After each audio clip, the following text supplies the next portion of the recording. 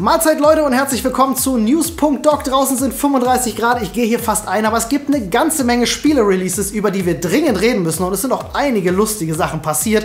Deswegen starten wir direkt mal mit unserem ersten Titel, der diese Woche rauskommt. Morgen schon erscheint Chasm und das ist ein Action-Plattformer mit prozedural generierten Dungeons. Wir nennen das ja eigentlich lieber Metroidvania und genauso sieht das Teil auch aus. Das ist ein richtig schön klassisches Spiel mit richtig schöner Pixeloptik. Ich glaube, es hat eine native Auflösung von von 384 x 216 ist also absolut was für Retro-Fans und Nostalgiker. Wenn ihr auf Metroidvania steht, dann kommt ihr an dem Ding nicht vorbei. Ich werde es mir auf jeden Fall mal anschauen.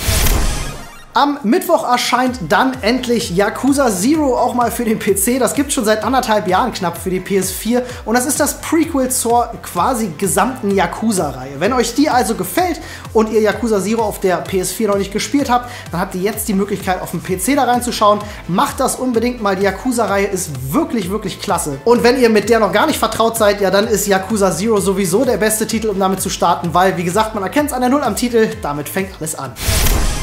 Wer von euch auf leicht bekleidete, aber dafür schwer bewaffnete Frauen steht, für den ist vielleicht Code of Princess EX was. Das erscheint morgen schon für die Switch, ist ein Port von der 3DS-Fassung und bietet tatsächlich genau das leicht bekleidete Frauen im Anime-Look. Also wenn das euer Ding ist, dann bitteschön. Sehr viel mehr bietet das aber auch nicht. Außerdem erscheint morgen schon Hellblade Senua Sacrifice VR und damit die Virtual Reality Umsetzung eines der am meisten diskutierten Spiele der letzten Monate. Ich habe wirklich von allen möglichen Leuten ganz unterschiedliche Dinge dazu gehört. Ich habe es selber noch nicht spielen können, aber die meisten sagten, ich finde es ganz fantastisch. Viele andere sagten wiederum, hm, ich habe da so meine Probleme mit. Jetzt habt ihr auf jeden Fall die Möglichkeit, mit der VR-Fassung noch immersiver in dieses wirklich optisch prachtvolle Spiel einzutauchen. Das ist ja wirklich ein sehr, sehr beeindruckendes Spiel, was so ein bisschen bisschen die Hintergründe von, von Wahnsinn ergründet und das alles versucht so ein bisschen darzustellen. Ich kann mir vorstellen, dass das in Virtual Reality richtig gut aussieht und für mich ist das auch so ein ganz klein bisschen der Beweis, dass VR noch nicht wirklich tot ist, wie viele tatsächlich sagen. Mich würde mal eure Meinung dazu interessieren. Sagt ihr, mh, hm, VR, da gab es jetzt nicht so viel, war wahrscheinlich nur eine Technikspielerei oder sagt ihr, hey, gerade Titel wie Hellblade Senua's Sacrifice, die jetzt als VR rauskommen, wie zuletzt auch Doom, beweisen, dass dieses Genre eine absolute Zukunft hat. Schreibt uns das mal unten in die Kommentare. Ich freue mich da auf eure Meinung. Und wenn ihr so ungefähr in meinem Alter seid, dann dürfte es euch sehr freuen, dass Forsaken eine Remastered-Fassung bekommt, die schon morgen auf Steam erscheint. Falls ihr Forsaken nicht kennen solltet, dann lasst euch gesagt sein, das war so 1998 mit eins der ersten online-kompetitiven Spiele, die unsere Modems zum Glühen gebracht haben. Ist sehr, sehr schnelle Action, aber Vorsicht, auch Garantie für Motion Sickness. Falls ihr das nicht kennt, schaut es euch gerne mal an. Falls ihr Fan seid, dann wisst ihr wahrscheinlich sowieso schon.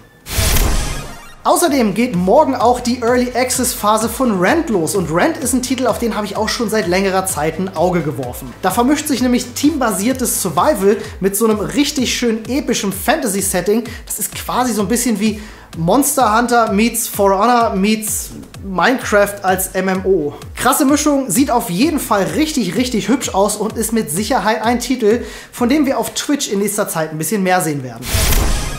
Und wer eher auf richtig schräge Spiele wartet, der kann sich freuen. Am Mittwoch auf Steam kommt Regular Human Basketball und da sage ich mal einfach nichts zu, sondern zeige euch direkt den Trailer. If I could be any animal, I'd probably be an emu. Those things human from mid-range.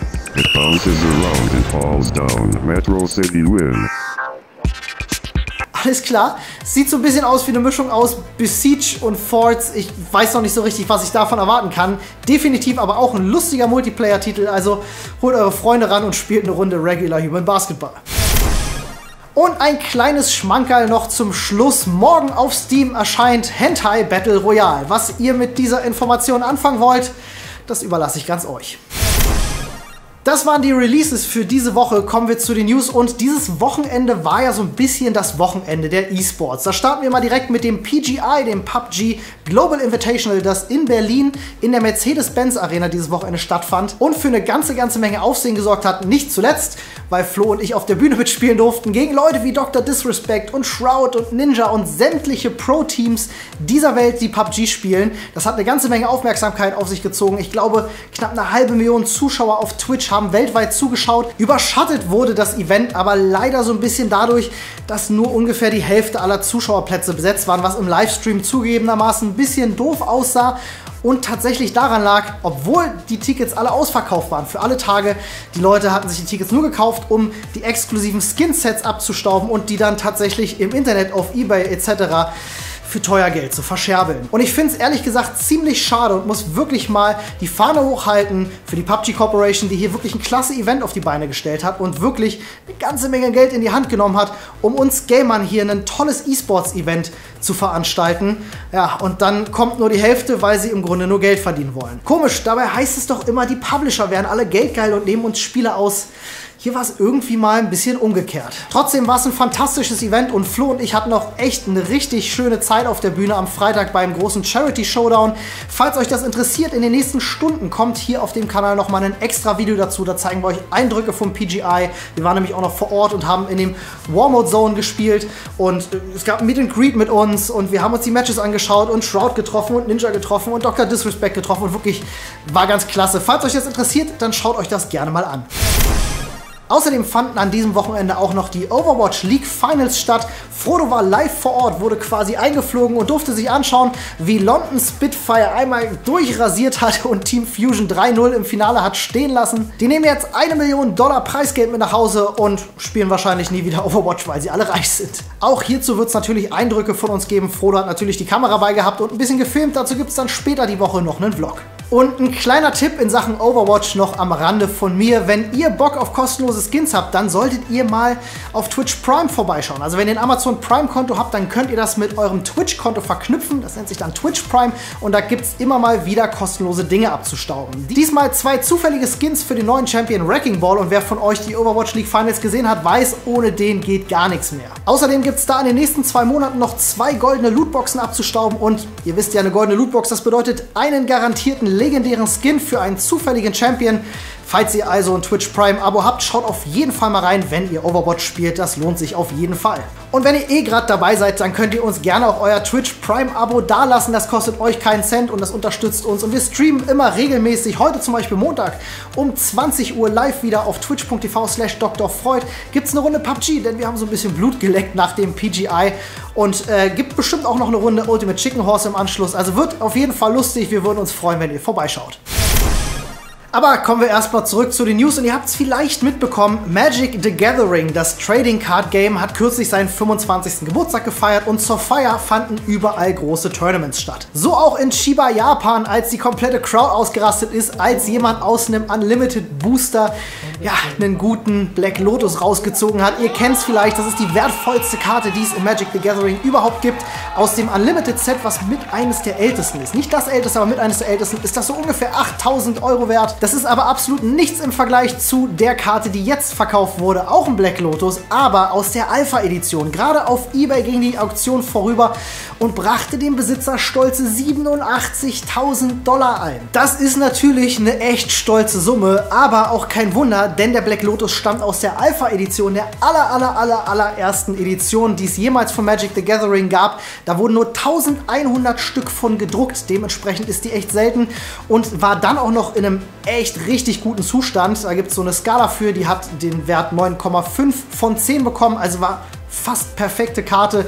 Bringt natürlich eine ganze Menge Geld ein und mich würde mal eure Meinung dazu interessieren. Findet ihr, dass 87.000 Dollar für ein Stück Pappe, das bedruckt ist, gerechtfertigt sind? Oder sagt ihr so, ey, da hängt halt echt ein riesiges Stück Geschichte dran. Ich finde, das hat einen emotionalen Wert und darf dann auch gerne schon mal was kosten. Schreibt uns das gerne in die Kommentare. Jetzt kommen wir aber noch zu einer sehr absurden News. Die US Army hält seit genau zwei Tagen Street Fighter 5 Turniere ab. Ja, das ist wirklich kein Spaß. Das Army Entertainment Esports Championship, so nennt sich das, ist ein Turnier für Soldaten auf der ganzen Welt, wo sie in Street Fighter 5 gegeneinander antreten. Das Finale findet dann, glaube ich, im August auf der PAX West in Seattle statt und das Ganze wird auch live gestreamt. Wenn ihr da also Bock drauf habt, den Twitch-Channel dazu habe ich euch mal in der Videobeschreibung verlinkt. Die haben sich sogar professionelle Caster geholt und ich persönlich finde das mega unterhaltsam. Ist echt mal eine richtig schöne Abwechslung vom Krieg und wer weiß, vielleicht kriegen wir hier ja mal das erste Mal so ein bisschen einen Ausblick darauf, wie die Welt aussehen würde, gäbe es keine Kriege. Make Esports, not War.